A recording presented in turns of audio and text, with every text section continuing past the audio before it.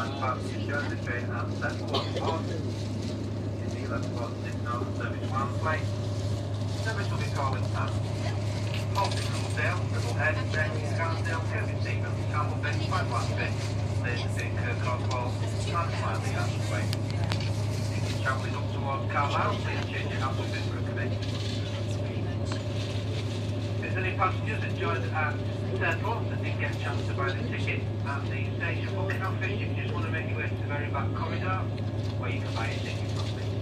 We also ask passengers to please keep the hours clear at all times. We now have refreshment trolley that join the train. Um, and the trolley stewardess will pass to the train to save you the seat. You also ensure the hours are clear